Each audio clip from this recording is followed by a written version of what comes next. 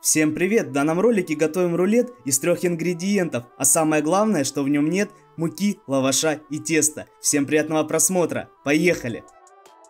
Для начала нам понадобится кусочек сыра, перекладываем его в одноразовый пакет, завязываем узел, вооружаемся кастрюлей, перекладываем сыр в кастрюлю, заливаем водой и отправляем подогреваться на плиту, пока он полностью не расплавится. А пока возьмем куриные грудки и грибы-шампиньоны.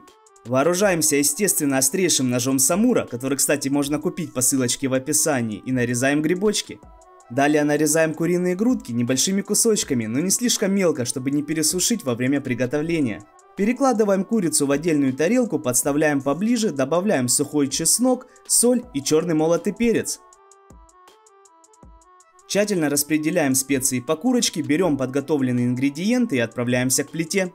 В сковородку наливаем растительное масло и первым делом обжариваем куриные грудки. Жарим пока курица не приобретет золотистый цвет, а далее можно добавлять грибы-шампиньоны. Готовим пока грибы полностью не усядут, а далее можно добавить любые специи, но я сделал полегче. Я добавил аджику, которую я делал в прошлом видео. Кстати, рецептик ее можно посмотреть у меня на канале. Выпариваем всю жидкость будущей начинки, а когда уйдет вся лишняя влага, можно снимать.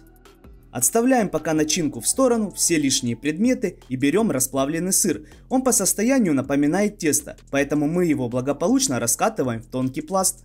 Далее распределяем начинку по сырной лепешке и при помощи нехитрых движений закатываем в рулет, так как я показываю в видео. Подставляем рулет поближе, обворачиваем в пищевую пленку, перекладываем на досточку и отправляем в холодильник на 1 час, чтобы рулет остыл. После того, как наш рулет полностью остынет, нарезаем его на порционные кусочки и перекладываем на тарелку. И теперь можно переходить к дегустации. Ну что, ребят, сегодня мы приготовили довольно-таки интересное блюдо из самых обычных ингредиентов. И данное блюдо получается очень вкусное.